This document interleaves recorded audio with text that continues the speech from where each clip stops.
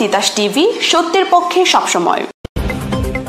Saudi আরবের রিয়াদে সশস্ত্র বাহিনী দিবস উদযাপিত। সৌদি আরবের রিয়াদে গতকাল সন্ধ্যায় ডিপ্লোম্যাটিক কোয়ার্টারে অবস্থিত কালচারাল প্যালেসে তিপ্পান্নতম সশস্ত্র বাহিনী দিবস দুই হাজার চব্বিশ যথাযথ মর্যাদায় উদযাপিত হয়েছে। এ উপলক্ষে সৌদি আরবের রিয়াদস্থ বাংলাদেশ দূতাবাস এক সংবর্ধনা অনুষ্ঠানের আয়োজন করে। অনুষ্ঠানে বিভিন্ন দেশের রাষ্ট্রদূত, ডিফেন্স অ্যাটাশে, কূটনৈতিক, সৌদি আরবের উচ্চ পদস্থ সরকারি কর্মকর্তা, রিয়াদস্থ বাংলাদেশি চিকিৎসক প্রকৌশলী ব্যবসায়ী সহ বিভিন্ন পেশার অভিবাসীগণ যোগদান করেন। অনুষ্ঠানে প্রধান অতিথি হিসেবে সৌদি আরবের প্রতিরক্ষা মন্ত্রণালয়ের major general Ali bin Hamad Al Johani উপস্থিত ছিলেন। প্রধান অতিথি তার বক্তব্যে বলেন বর্তমানে বাংলাদেশ ও সৌদি আরবের মাঝে দ্বিপাক্ষিক সামরিক সম্পর্ক সুদৃঢ় হয়েছে।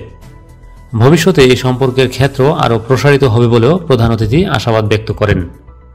মুক্তিযুদ্ধের লাখো শহীদ এবং গত জুলাই আগস্ট মাসে ফেসিবাদের বিরুদ্ধে ছাত্র শ্রমিক জনতার অভ্যুত্থানে নিহত সকল শহীদদের প্রতি শ্রদ্ধা জানিয়ে বাংলাদেশ দূতাবাসের chargé d' affaires S M Rakibullah বলেন, উনিশশো একাত্তর সালের এই দিনে বাংলাদেশের সেনা নৌ ও বিমান বাহিনীর সম্মিলিত আক্রমণে দখলদার বাহিনী দিশেহারা হয়ে পড়ে, যা আমাদের বিজয় অর্জনকে ত্বরান্বিত করে। আমাদের মহান মুক্তিযুদ্ধে সশস্ত্র বাহিনীর অবদান জাতি গভীর শ্রদ্ধায় স্মরণ করে। Chargé d' affaires S M Rakibullah আরও বলেন, সশস্ত্র বাহিনী বিশ্ব শান্তি রক্ষায় অনবদ্য ভূমিকা পালন করছে, যা বাংলাদেশের জন্য অত্যন্ত গর্বের বিষয়। বর্তমানে পৃথিবীর বিভিন্ন দেশে প্রায় সাত হাজার বাংলাদেশি শান্তিরক্ষী কর্মরত রয়েছেন। এ সময় বিভিন্ন শান্তি মিশনে দায়িত্ব পালনকালে নিহত সেনা কর্মকর্তা ও সেনা সদস্যদের গভীর শ্রদ্ধায় স্মরণ করেন তিনি। Defence attaché brigadier general Mohammad Rezwal Karim স্বাগত বক্তব্যে বলেন, বাংলাদেশ সেনাবাহিনী সুগঠিত, আত্মবিশ্বাসী ও অত্যন্ত পেশাদার, যারা আমাদের সার্বভৌমত্ব রক্ষায় নিয়োজিত রয়েছে বলে তিনি উল্লেখ করেন। তিনি আরও বলেন, বাংলাদেশ ও সৌদি আরবের সশস্ত্র বাহিনীর মধ্যে বিশ্বাস ও আস্থার সম্পর্ক রয়েছে। এবং বাংলাদেশ সৌদি নেতৃত্বাধীন ইসলামিক মিলিটারি কাউন্টার টেরোরিজম কোয়ালিশনের গর্বিত সদস্য, যা বাংলাদেশের সাথে সহযোগিতার ক্ষেত্র বৃদ্ধি করেছে। সশস্ত্র বাহিনী দিবস উপলক্ষে বাংলাদেশ দূতাবাসের chargé d' affaires S M Rakibullah defence attaché brigadier general Mohammad Rezal Karim প্রধান অতিথিকে নিয়ে কেক কাটেন।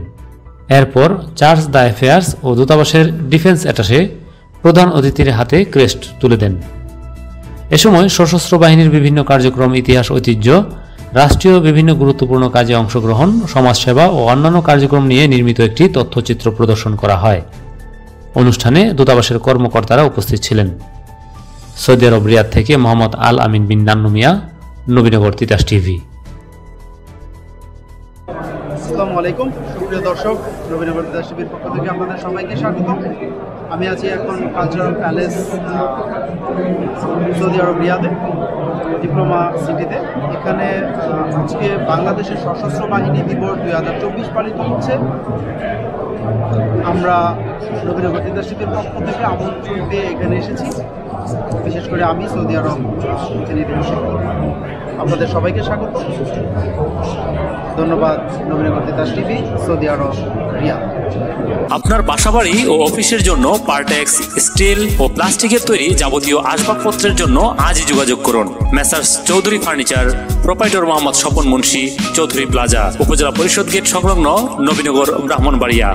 Health view general হাসপাতাল অ্যান্ড ডায়াগনস্টিক সেন্টার আধুনিক যন্ত্রপাতি দ্বারা সঠিক রোগ নির্ণয়ের মাধ্যমে উন্নত চিকিৎসার এক বিশ্বস্ততার নাম। শিবপুর বাজার নবীনগর ব্রাহ্মণবাড়িয়া। নবীনগর তিতাস টিভি সত্যের পক্ষে সবসময়।